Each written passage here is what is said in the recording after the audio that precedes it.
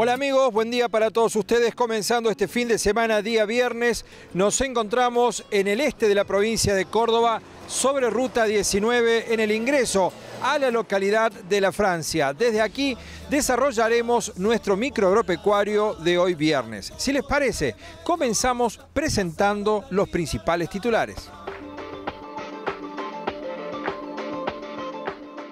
Presentaron la marca colectiva Salame de Oncativo. El clúster de la cadena porcina de Oncativo llevó a cabo el martes 12 de diciembre la presentación de la marca colectiva Salame de Oncativo en la sede del Club Deportivo y Cultural Unión. El salame de Oncativo tiene una reputación en los consumidores que asocian una calidad y tipo de producto al lugar de elaboración. La construcción colectiva de un sello de calidad es a la vez una herramienta de mejora de la competitividad en los mercados y de preservación de un producto típico. La faena de carne vacuna es la más alta en ocho años. La faena de Hacienda Vacuna volvió a crecer de manera significativa en noviembre, así como el consumo y las exportaciones de carne, según la Cámara de la Industria y Comercio de Carnes y Derivados de la República Argentina, SICRA. En noviembre se sacrificaron casi 10% más de cabezas que en igual mes de 2016.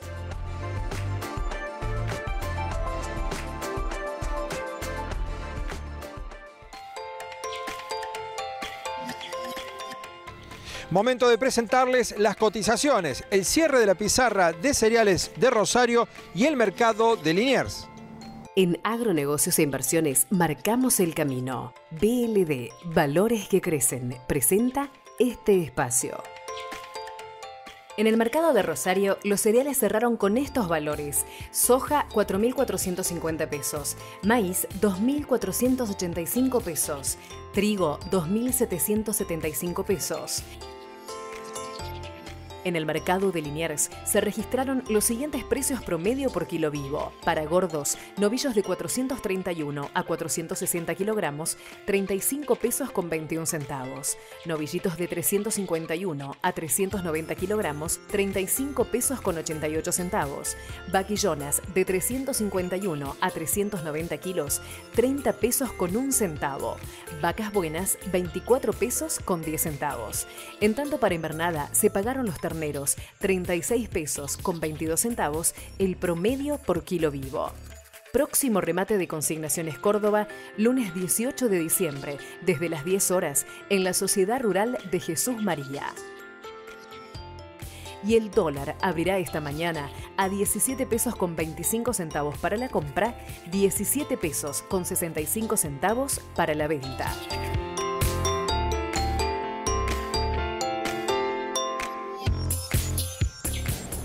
Todo previsto para el próximo lunes, remate especial en la Sociedad Rural de Jesús María, remate de fin de año organizado por Consignaciones Córdoba. Tenemos la palabra, la invitación de uno de los responsables de esta casa consignataria, el señor Eduardo Pérez. Queremos aprovechar, ya que están ustedes de por medio, aprovechar de invitar el lunes 18. Hacemos medio como sería el remate de fin de año nuestro tenemos una cantidad de hacienda bastante importante anotada a la fecha, yo creo que ya debemos estar con unas 1.700 cabezas, de las cuales vamos a tener un buen conjunto de hacienda gorda. Y ya tenemos anotado algo de vaquillonas preñadas, un conjunto de hacienda de primerísima calidad y también un buen conjunto de haciendas de invernada que nos van a acompañar los amigos que nos acompañan todo el año. Así que de paso aprovecho para invitar a, a los amigos a que nos acompañen el lunes 18 hasta la una venderemos Hacienda Gorda y después continuaremos por la tarde, después de un asado con los amigos acá para compartir y hacer un brindis eh, por esta Navidad y para desearles a todos que pasen muy buen año y que podamos seguir trabajando como trabajamos este año en esta sociedad rural. Nos vamos a una breve pausa en la mañana de campo directo desde la Francia, ya volvemos.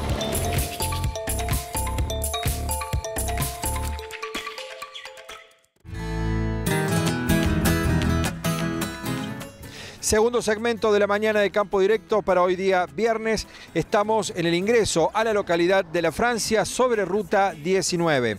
Les comentamos que se han retomado las negociaciones entre la Unión Europea y el Mercosur, principalmente en temas agropecuarios. ¿Cómo impactará en el negocio de la carne y biocombustibles en la República Argentina? La columna del periodista agropecuario Alejandro Rollán.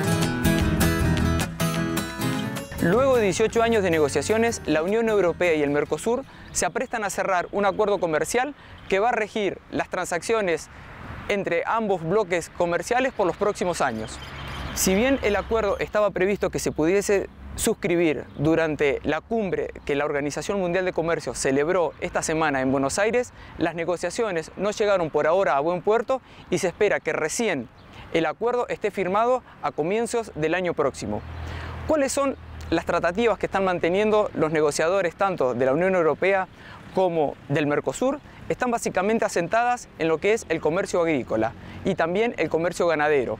Ahí los europeos han ofrecido para esta parte del continente una cuota de 60.000 toneladas de carne que el bloque del Mercosur considera que es insuficiente. Mientras tanto, como variable de negociación han ofrecido 600.000 toneladas de etanol que si bien para los europeos es un volumen importante, para Argentina y para Brasil, que son básicamente los productores de este biocombustible, son por ahora insuficientes. ¿Qué puede ocurrir en los próximos días? Las negociaciones van a seguir avanzando. Mientras tanto, Europa lo que está solicitando es una mayor apertura a través de la liberación de aranceles para todo lo que es bienes de capital y maquinaria agrícola.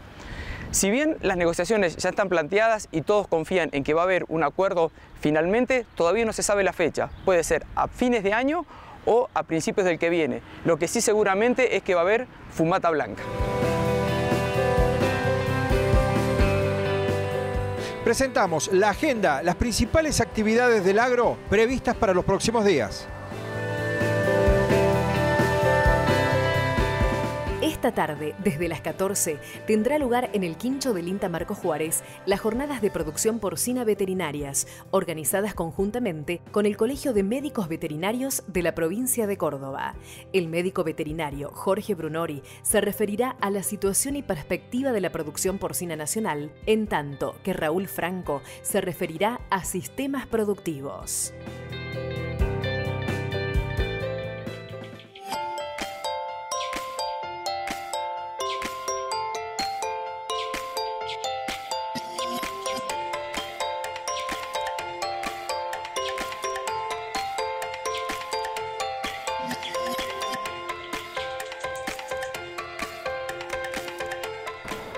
Y ya en el cierre de la mañana de Campo Directo queremos adelantarles los temas que desarrollaremos en el programa Campo Directo mañana sábado a partir de las 11 de la mañana. De la mano del decano de Agronomía, conocemos detalles de la nueva carrera de Ingeniería Zootecnista. Nueva Asamblea del Consorcio de Regantes de Aguas Subterráneas, la palabra de las nuevas autoridades. En nuestro espacio de análisis y opinión hablamos del retorno a las negociaciones del Mercosur con la Unión Europea. Acompañamos a los expositores de maquinaria agrícola en una nueva edición de Expo San Francisco. Las 36 Jornadas de Medicina Veterinaria en Villa Giardino, un espacio para revalorar la profesión y ocupar un merecido lugar. El Colegio de Ingenieros Agrónomos festejó sus 30 años. Participamos de un momento especial para los técnicos de nuestra provincia. En la alerta de plagas y enfermedades observamos presencia de orugas cortadoras. Y con estos temas nos despedimos. Será hasta mañana entonces, sábado a partir de las 11 de la mañana, aquí en la pantalla de Tele 8 con nuestro programa semanal Campo Directo. Y desde el lunes 7.50 todos los días, nuestro micro agropecuario, la mañana de Campo Directo. Que tengan una excelente jornada y un muy buen fin de semana.